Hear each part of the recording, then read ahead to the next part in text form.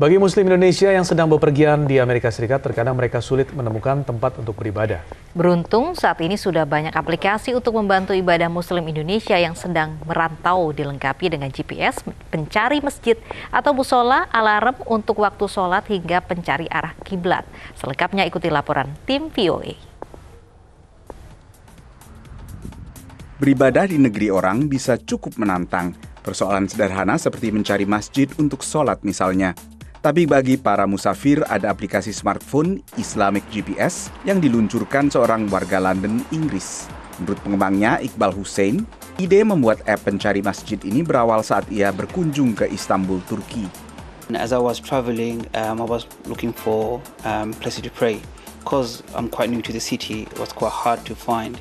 And because of the low uh, language barrier, um, it was quite took me time to find it. So I thought myself, why not create uh, places to uh, pray?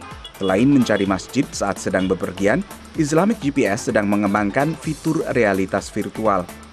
For example, you want to see a mosque, say in China, they saw old mosque, about 100 years old mosque there. You know, you can't visit it, but you can at least able to view on the VR headset.